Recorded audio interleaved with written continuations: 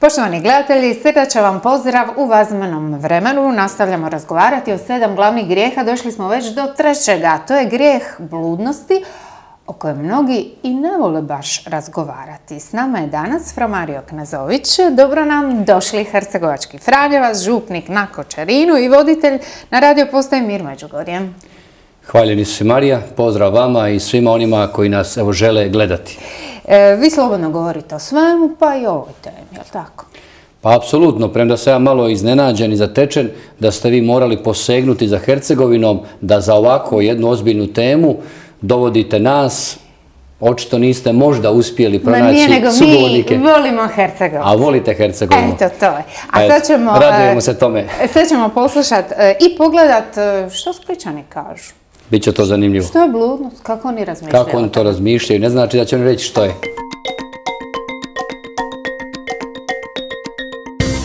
Fizička razina, tjelesna razina ljudske spolnosti, to je smisao prokreacija, a duhovno psihička bi bila povezivanje dvije osobe i iskazivanje ljubavi.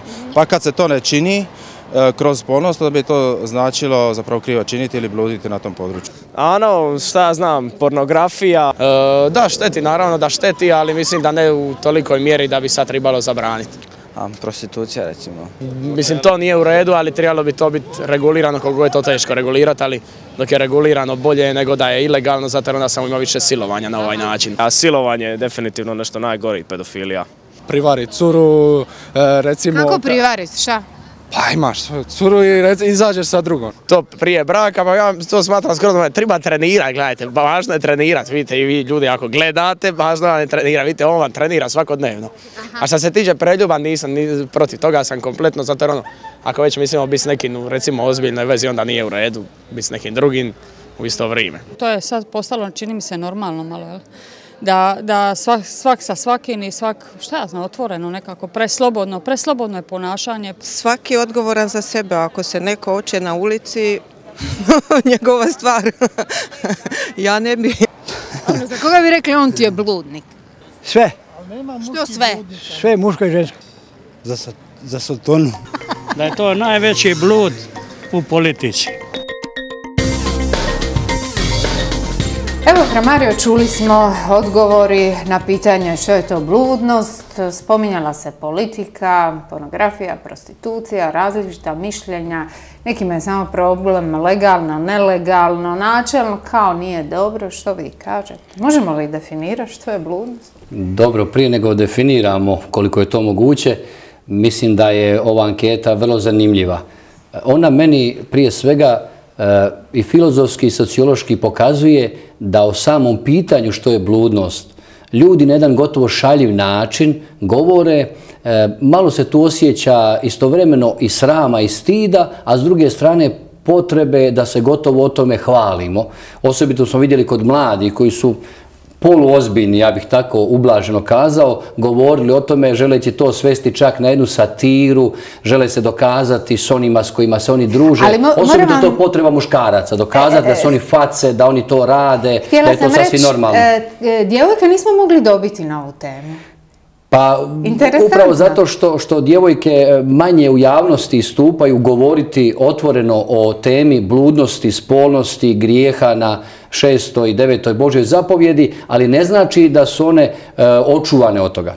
Ono što mi možemo kazati na neki način o definiciji bludnosti, najbolje nam govori katekizam katoličke crkve u svom paragrafu 2351. gdje kaže izričito E, bludnost je neuredna želja ili razuzdana naslada spolnoga užitka. Spolni užitak moralno je neuredan kad se traži radi samoga sebe izdvojen od svrhovitosti rađanja i sjedinjenja. To je na neki način definicija školski rečeno. Kad govorimo o bludnosti, ne možemo nikako je izuzeti iz e, dvije Božje zapovjedi, to je šesta Božja zapovjed, ne sagriješi bludno i deveta Božja zapovjed ne poželi tuđeg ženitbenog druga. Na neki način ta bludnost je grijeh koji može biti na razini e, misli, na razini želja, dakle naše mašte i onda naravno na razini e, našega čina ili našega e, tijela. Važna je borba protiv bludnosti, ali to nije najvažnije što trebamo u životu činiti. Mislim da bi danas e, možda i crkva trebala izići donekle iz okvira samog moraliziranja. Jer ako svedemo Božje zapovjedi, ako svedemo i sedam glavnih grijeha samo na moralnu dimenziju i razinu, e, nisam baš siguran da ćemo doći do ostvarenja nekih plodova. Puno bi bilo važnije osvrnuti se na to kako ljudi u procesu evangelizacije, u procesu formacije, imamo vjeronauk, imamo druge alate i metode, da, da zapravo shvaćaju što je njihov životni cilj i izbor.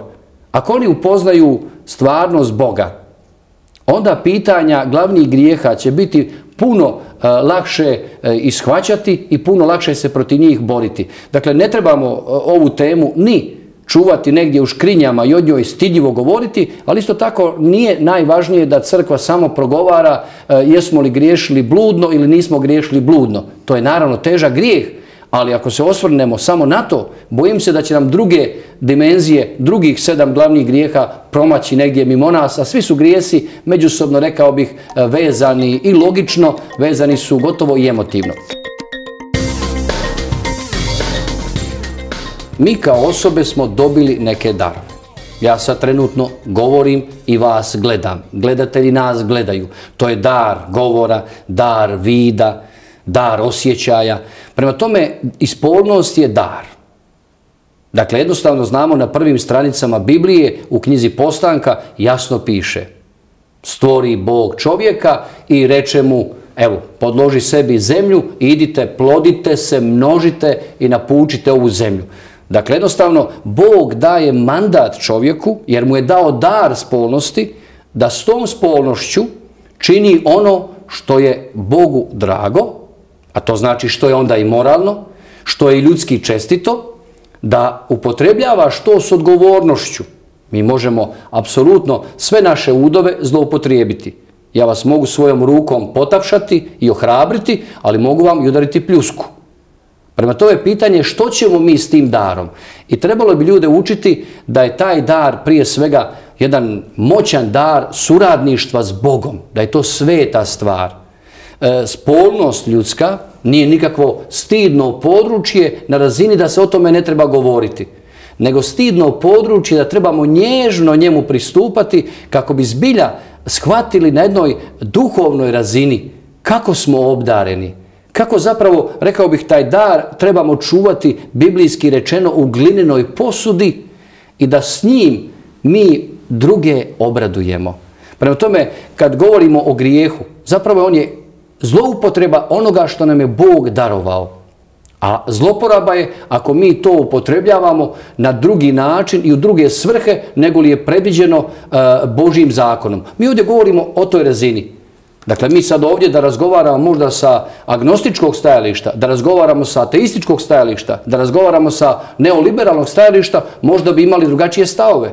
E, druge obradovati ste rekli, to je e, smisao svakog dara koji nam je Bog dao, pa netko će reći, pa eto i prostitutka druge može obradovati, zar ne? To je neko površno shvaćanje. Mhm. Djevojka želi obradovati svog mladića, ući će s njim u spolne odnose i prije braka, neki mladići traže to kao dokaz ljubavi. E, kako ćete odgovoriti kao teolog Franjevac na to pitanje? To, to, su naše interpretacije.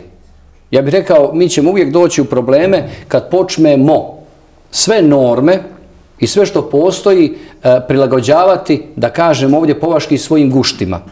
I ako se budemo vodili samo guštima i radostima, bez mišljenja na posljedice, na vrijeme za što je nešto predviđeno, mi ćemo se jednostavno izgubiti i pogubiti. Mi dobro znamo ako imamo malo dijete, nećemo mu odmah otkriti sve neke tajne i stvari, čekamo jedno vrijeme.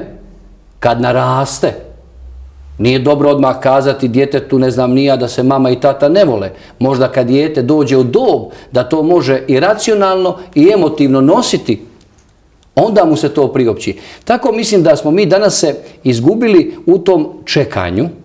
Izgubili smo općenito dimenziju čekanja. Mi više ne znamo čekati ni Božić pa ga želimo požuriti različitim manifestacijama, događajima, mi nemamo više vremena čekati ni vlastitu svoju svadbu, pa pravimo neke predsvadbe, pravimo događaje koji glume ono glavno. na neki način i u spolnosti i u bludnosti je tako. Ukoliko mladić i djevojka nisu spremni da čekaju trenutak kada će to biti onaj savršeni sveti susret jednoga muškarca, jedne žene u spolnom činu, u okviru sakramenta ženitbe, onda na neki način upadaju u grijeh. Nitko im to neće uzeti. I krivo je kad danas neki govore da je crkva protiv toga da, da, da, da, da, da ljudi uživaju. Ne. Isus je rekao, došao sam da imate život u izobilju. I nitko nam ne može na neki način bolje govoriti o stvarima radosti uživanja kao što nam je sam Krist govorio. I crkva samo to želi na neki način interpretirati i ljudima posvijestiti da čekamo. Ja sam mladima na vjernauku uvijek znao e, nacrtati dva slova, velika dva slova, e, slovo lj i slovo s. I pokušavao sam im sa dvije strelice objasniti stanje. I ovako bi govorio. Mladosti, uvijek će vas ljubav dovesti do seksa. Ali vas seks nikad neće dovesti do ljubavi. I u to sam potpuno uvjeren. Ako počujemo s tijelom, nikad nećemo završiti na razini duha. Ali ako s duhom počujemo, doći će vrijeme, to je ono vrijeme svetog sakramenta, kada ćemo mi počastiti i svoje tijelo. A kakva se šteta čini? Kakvu štetu čovjek čini i sebi i drugome ako, evo, mlad čovjek i prije braka ulazi u spolne odnose ili postane promiskuitetan, mijenja e, spolne partner. E, ne treba tu samo govoriti o toj nekoj teološkoj dimenziji. Postoji šteta i za one koji nisu vjernici, pretpostavljam. Apsolutno. Zato što čovjek ima u sebi jezgru, to je Božji glas, savjest. To je najintimnija jezgra i mi kažemo svetište čovjekovo. I vjerujte mi kada mi dođe primjerice mladić i kaže spavao sam s djevojkom. Ja kažem pa je li vam žao? Pa, pa nije spavao sam, to normalno. Pa što mi to govoriš u ispovijedi? Pa evo, ne, šta ja znam, nekako osjećam da bi trebao reći. A zašto bi trebao reći? Želim ga dovesti e, do čina kajanja. Ja vidim da taj mladić i ta djevojka osjećaju krivicu, ali oni je ne znaju izraziti uslijed logičnih opravdanja koji danas postoje na bezbrojnih razina. Jako smo mi danas postali industrija logično dobrih objašnjenja ljudskih promašaja, grijeha i propusta. Postali smo tu maheri. Za sve imamo ispričicu, alibi i ne znam nija e, neki izmicaus. Onda kažem, ako nije to grijeh, ja se tebi čudim da ti uopće to svećeniku govoriš na ispovjedi. Pa znate, neko se osjećam loše. Aha, A ipak se osjeća. da, loše. da. I vjerujte mi, Dakle, to vrlo- je šteta. ja još nisam pronašao osobu koja je olako preko toga prešla, pa mnogi koji nisu toliko čak ni vjerski bili formirani. Mi osjetimo da smo nešto učinili što nam ne pripada. Znamo mi kao ljudi. Najgore što mi želimo prevariti svoju savjest. Opet tim nekim povlasticama i olakšicama koje smo mi kreirali. U nekom svom svijetu ili u dosluhu sa ovim svijetom koji nam uporno i neumorno objašnjava izaberi svoj život, ti si vlasnik svoga života, ne smije nitko na tebe. E, tijela, a zapravo mi nismo Koga si vlasnici. oštetio? Mi nismo vlasnici svoga tijela. Ako smo mi vlasnici svoga tijela, molim vas gospodo, molim vas draga medicina, zašto ne znamo datum naše smrti? Zašto ljudi koji kažu da su vlasnici svoga tijela ne kažu jasno, ja određujem kad ću umrijeti? Zašto imamo plave oči? Zašto imamo plave oči? Zašto ja nemam kosu? Vi imate prekrasnu kosu. Dakle, vidite da mi nismo vlasnici svoga tijela. Mi moramo svoje tijelo doživljavati kao ekskluzivni dar koji nam je dan da u njemu naša duša ostvari velike ideale, a to je prije svega spasenje i da ovim svijetom prođemo kao Isus čineći dobro. A to da smo mi bilo čega vlasnici, ne. To je velika zamka oholosti. Vi ćete govoriti i o grijehu oholosti. a Već iz njega, jesmo. Već jeste. A iz njega izvire zapravo i ovaj grijeh i mnogi će reći i svi drugi grijesi koji se nagomilavaju nakon te oholosti. Možemo li govoriti o konkretnoj e, šteti koju čovjek stvara sebi i drugima zato što ulazi u spolne odnose prije braka? Budimo konkretni. Je li takvim ljudima koji su recimo promiskuitetni, imali su više partnera, teže kasnije ostvariti uredan bračni život? Evo, ja ću vam sada, dolazi mi u pamet jedna bolna situacija. E, govorim na televiziji. Dakle, u jednome e, gradu dogodilo se sljedeće. Završio je večernji program u disku i jedna djevojka koju ja poznajem, poznajem njezinu obitelj, je u tom nekom noćnom ludilu pod utjecajem alkohola spavala s nekim mladićem, oni kažu spavala, imala spolni čin, negdje u nekom kutku e, pokraj toga noćnog bara. Ta djevojka je zatrudnjela. I tu još samo nisu problemi, samo na razini grijeha. Nastaju od tog trenutka i emotivni, i psihološki, i socijalni problemi. Nastaju problemi koji su razorili mnoge odnose. Djevojka je došla kući, do dana današnjega, od toga je prošlo, mislim, dvije i pol godine. I ja još uvijek tražim, evo ako taj mladić postoji, neka se javi. Još uvijek tražimo tko je otac djeteta od te djevojke koja nije upamtila u tom stanju ni kako mu je ime, nije ga ni pitala, ni kako izgleda, niti koji automobil vozi, ona apsolutno ne zna ništa o mladiću s kojim je imala spolni čin. Rađa se dijete koje ne zna tko je otac. Majka koja sada, Bogu hvala, prihvatila to dijete, Bog je blagoslovio, živi u traumi. Roditelji su u mukama.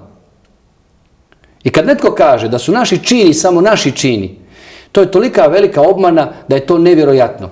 To je kao da danas terorist kaže u Briselu, to je moja stvar da se ja raznesem bombom, jer ja sam vlasnik svoga tijela. A ja nisam kriv što je ta bomba toliko jaka da je ozlijedila ili ne daj Bože usmrtila one druge koji su se slučajno zatekli na tom mjestu. Vrlo pogubne teze puštam u javnost i žao mi je da nemamo još uvijek medijskog učinka da na prave upite odgovaramo stvarnim činjenicama. Svi mi pomalo volimo frizirati stvari. I meni bi bilo lakše puno vašoj emisiji ovdje ovu emisiju odraditi, da mi onako progovorimo nešto na površini o bludnosti, da, da, da ne govorimo javno. Ja znam da je danas teško ovoj temi govoriti. Zašto? Zato što smo mi svi obilježeni. Danas na neki način teško možemo pronaći osobu da ju netko nešto ne može predbaciti.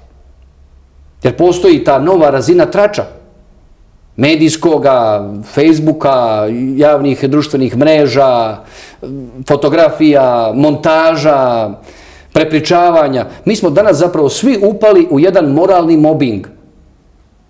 I ljudi danas izbjegavaju otvarati prave teme iz razloga što ih netko sutra pod navodnicima može lupnuti i kazati šta ona ili šta on o tome govori. I, šta, I ti si.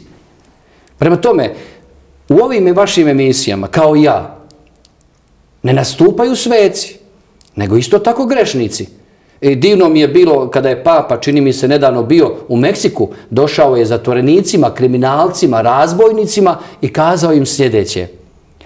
Pred vama stoji čovjek kojem je puno oprošteno. S time je zapravo kazao, pred vama stoji grešnik kojem su praštali. I danas mi najlakše ljude obilježiti, mi imamo tu sada na neki način medijsku osudu. Ljude obilježimo, nakon toga im zatvorimo usta, ne mogu otvarati i progovarati o pravim temama i imamo što? Evo imamo ovakve teze koje su na šaljiv način i odrasli i mladi iznosili i o spolnosti. Ista bi ovakva anketa bila o svim drugim temama u Hrvata, sve završi u konačnici o političarima. Zašto? Pa, pa zato što, što, je, što je najlakše optužiti nekoga na, na nekoj, recimo tako, društvenoj razini, uvući se u taj kolektiv opće svijesti i najlakše je prozvati političari. A vrlo ćemo rijetko čuti ime i prezme. Koji političar? Zašto je kriv? Je li mu to dokazano? Je li to tom svećeniku dokazano? Je li to tom čovjeku u istinu tako? Dakle, mi jednostavno živimo neku kolektivnu svijest, kažu, Kažu, i, i najgora je stvar kad se kaže dočim se priča ima tu nešto. Mi smo tog trenutka zapravo postali suradnici klevete, laži i veliki grijeh činimo. A tako i u bludnosti. Koliko znam divnih osoba koje godinama trpe javnu bludnost, a zapravo žive čistoću. A ima ljudi koji žive percepciju javnosti, primjerice moralnosti, čistoće, a žive bludnički, razvratnički. Ali Bog zna. Bog zna, ali ljudi trpe. što je s bludnošću u braku? Sad smo prilike rekli zašto je bludnost grijeh prije braka, koji je smisao ljudske spolnosti. E, postoji li bludnost u braku? Neki misle kad sam se oženio, udala, sve je dopušteno. Je li sve dopušteno? Nikada, ni u čemu, ni u kojoj stvari nije sve dopušteno. Jedino bi mogli kazati ono po svetome Augustinu koji je kazao ljubi i čini što hoćeš. On je s time htio reći onaj koji savršeno ljubi nešto, neće učiniti nikakav prijestup. I bračna zajednica ima norme svoga ponašanja. To je prije svega sakramenat. Zajedništvo sveto, gdje muškarac i žena postaju jedno srce i jedna duša. I trebalo bi svim silama nastojati da svetost te ljubavi i spolnosti sačuvamo u braku. Naravno da e, preljubi postoje, nažalost. To je jedan od grijeha bludnosti u braku. Preljubi. Postoje također moralna varanja. Što je sad pa to? Da, postoje emotivna varanja. Hm. Mi danas imamo situaciju, ja ne znam koliko ste vi u vašim emisijama o tome govorili. Nešto E, jesmo. dakle, danas e, ja govorim iz, iz, iz iskustava e, onoga što, što čujem konkretno od ljudi koji mi dolaze na razgovore. Mi danas imamo jednu, ja bih nazvao vrstu, ne bih rekao bolesti, ali neobičnog ponašanja, gotovo nastranosti, da imamo ljude koji ne mogu izvršiti spolni čin ukoliko u tom trenutku ne promatraju pornografiju. E to su one posljedice pornografije, možda ćemo nešto o tome. Da. Dakle, on jednostavno u tom trenutku, ona ili on, su zapravo emotivno u mislima s nekom drugom osobom, premda su fizički u kontaktu sa vlastitom ženom ili sa vlastitim To je mužem. šteta pornografije, konkretno. To je šteta pornografije. Jer netko misli, pa što ako gledam? Pa imamo danas što ljude činim? koji se ne mogu uopće e, na normalan način uzbuditi bez pornografskog sadržaja, bez tog stimulansa. Zar to nije Dakle, došli smo i do razaranje poremećaja. naše, naše, pa do poremećaja psihičkih i emotivnih poremećaja koji se naravno onda reflektiraju, odražavaju na fizičkom području. A sve se čini nešti. To je priča za malu djecu. Nama je danas jako važno je li u Splitu kiša ili sunčano, a kamoli jesmo li svoje srce ranili grijehom ili nismo. Kad govorimo o braku, e, što je to moralno emotivno varanje? Ovdje smo imali goste koji su kazali da nije misao i osjećaj sam po sebi grijeh, nego kad mi na nju pristanemo u smislu da sad planiramo, planiramo, potičemo to. Sama prvotna misao i misli koje nam dolaze nisu grijeh. Što vi kažete? E, Mi smo odgovorni za svaki grijeh onoliko koliko ga svjesno probuđujemo, svjesno činimo, slobodno činimo i želimo ga realizirati. Prema tome, ako mi u odre- određenom trenutku maštovito nešto nakratko pomislimo, naiđemo cestom, vidimo zgodnog mladića, zgodnu djevojku i tako dalje, pa nešto i pomislimo, nećemo to smatrati teškim grijehom. Ali već upadamo u realizaciju grijeha ako mi nastavljamo živjeti s tom maštom, ako nju probuđujemo, sami je potičemo ili slikama, ili razgovorima, ili porukama, ili Dakle, svojim nekim... uspostavimo kontakt s tom osobom. Ili nekim svojim maštovitim lutanjima koje mi ne želimo suzbijati. Zato nego dapače, nego ih želimo razmahivati. E u tom trenutku možemo postati odgovorni za to stanje, nazovimo ga grijeha mišlju. Ali ako ostane samo na misli, e, ne vjerujem da će ljudi zbog toga e, previše trpjeti, s tim se možemo lakše izboriti. Problemi nastaju kada mi one poticaje misli realiziramo u, u, u konkretnoj situaciji, a u- zapravo misle su opasne jer su one, rekao bih, predradnja nečega što može nastati kao opasno. Ali mnogi e, brkaju ljubav i spolnost, erotiku, pa će reći, ali što ima loše u tome? Pa ja nju, njega volim zapravo. Mi smo danas... Ljubav pod- nije grijeh. Apsolutno, vaše pitanje je... Može li sve to prerasti u pravu ljubav? Recimo, neko vam se sviđa, nije vam ni muž, Ma sve je moguće. žena. I vi ga zavolite. Ljubav je toliko maštovita, izražava se na onoliko oblika koliko osoba ima i još više od toga. Ali je problem, vi ste dobro pitali i zamijetili da smo mi danas pod naslov ljubavi jednostavno strpali sve ono što se tiče ljudske intime, a nije to sve ljubav. Jer mi danas, e, nažalost, imamo čina spolnih koji nisu povezani s ljubavlju. Pričao sam malo prije, ljudi koji se i ne znaju, nemaju se kada ni zavoljeti, nego tipično fizička, fizička povezanost i fizički kontakt. Ja sam uvjeren da oni koji se iskreno vole, oni će se barem boriti. Svi u javnosti će, uglavnom, pogotovo muškarci, kazati, svi to rade, danas je to normalno. A ja bih htio u ovoj emisiji kazati da imamo danas e, puno onih koji u brak ulaze čisto i nevino. To je ono što trebamo više još naglašavati u našoj javnosti. Puno je njih koji danas uslijed čak nekog tog javnog govora i diskursa neće ni reći da su nevini, a zapravo žive Stide se toga. Gotovo da je postalo sram živjeti nevino, a nije postalo sramno živjeti nečisto. Kasnije I njihov to su ti paradoksi koji su se u nas e, izmiješali i mi smo zapravo izvrnuli sve te vrednote naopačke i mi se sada hvatamo ni za glavu, ni za rep u svim mogućim razinama, a naravno da je tako onda i na razini grijeha i bludnosti. Je li njihov e, brak kasnije uspješniji? Što se vam učini? Ja mislim da je sretniji, ispunjeniji i blagoslovljeniji. Jedan put sam jednu djevojku pitao koja je rekla pa nema to veze što mi prije braka, mi se volimo i to je ta priča. Rekao bih klasika, mi se volimo pa želimo si dobro i tako dalje.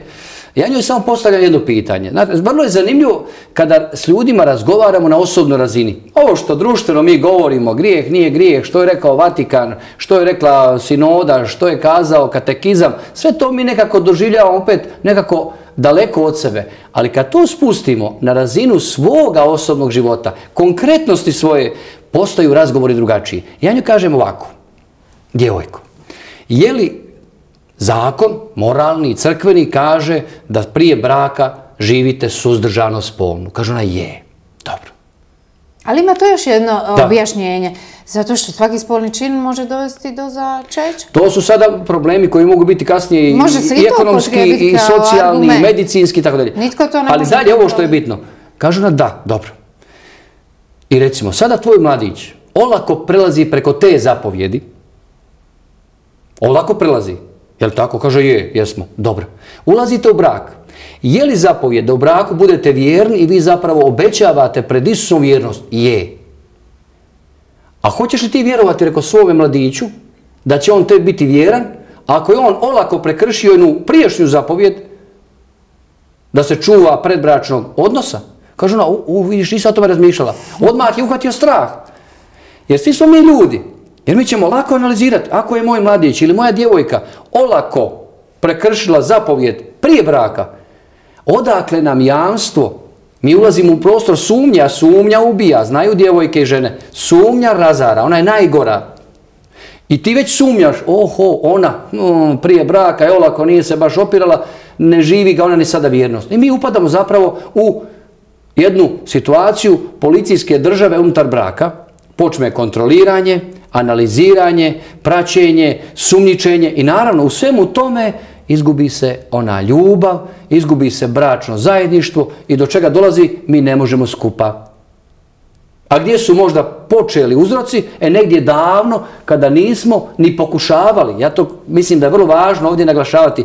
Mi iz crkve ne smijemo biti stražari na tuđom posteljom. Niti je to naša zadaća. Nego ljudima reći ono što je za njih dobro. Ono što nam Bog nalaže da govorimo. I ova naša emisija ne služi tome da mi ulazimo u tuđe postelje, da mi bdijemo i držimo svijeću na tuđim moralnim činima, nego da govorimo i progovorimo o nekim stvarima koje mogu ljudima pomoći da barem o njima razmisle. Dakle, uvijek su uzroci negdje dublje i dalje. Idemo o uzrocima.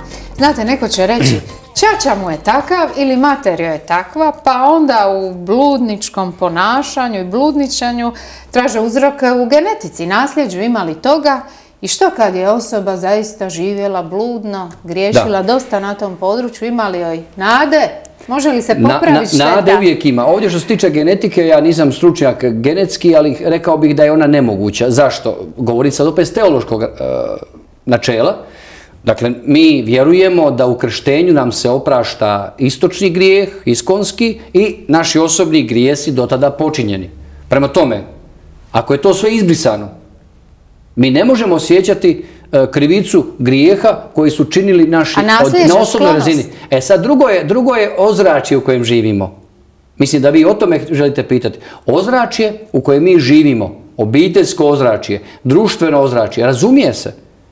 Gdje otac i majka ne drže do moralnih normi ni vrijednosti, razumije se da su djeca više izložena da žive kao oni. Nama su uvijek na neki način roditelji, bez obzira uzori, bilo negativno, bilo pozitivno. Mi ih slijedimo, što svjesno, što podsvjesno.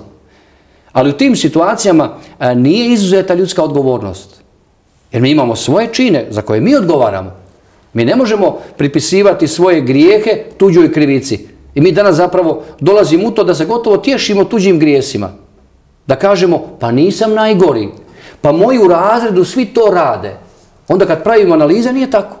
Ja sam istraživao među mladima u temu, e, oni koji me gledaju, maturanti gimnazije u Posušju, Pozdrav E, maturantima. imao sam dakle istraživanje među 52 maturanta klasi, e, gimnazije opće u Posušju prije tri godine. Od 52 učenika samo ih je dvoje imalo spolni čin kao maturanti sa 18 godina. Ali A u javnosti je sigurno percepcija drugačija, svi to rade. Nije istina. A Štulhofer kaže da nije tako, on isto radio neka E kad vi budete doveli u emisiju gospodina Šturhofera, onda ćemo probati ja i on o tome porazgovarati.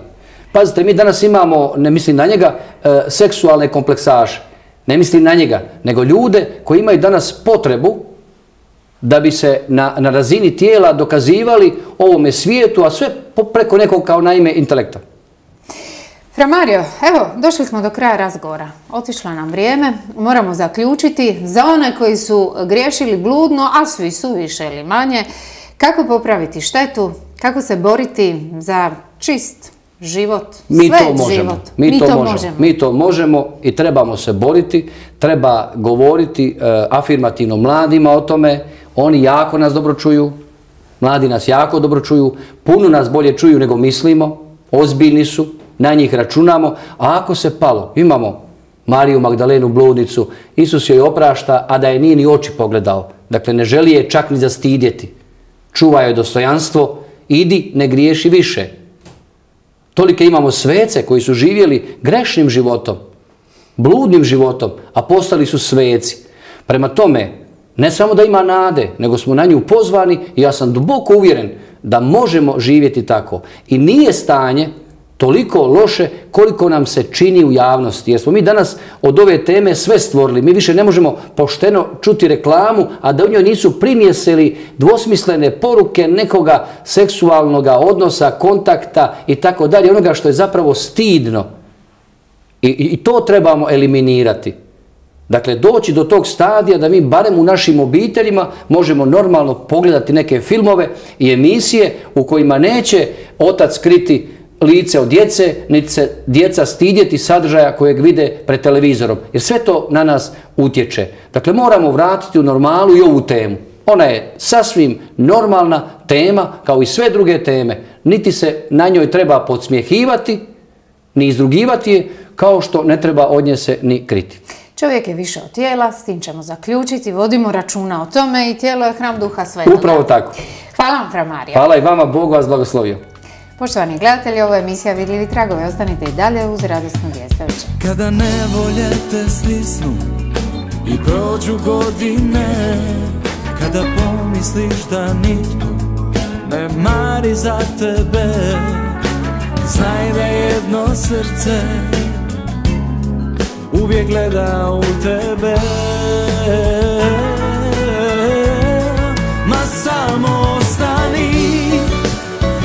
što i jesi Najbolja od svih.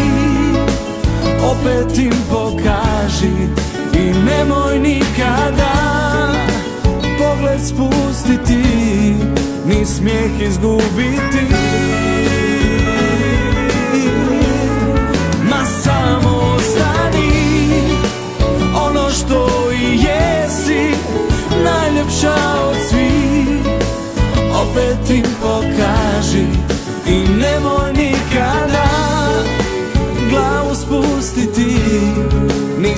izgubiti. Oh, I nemoj nikada glavu spustiti.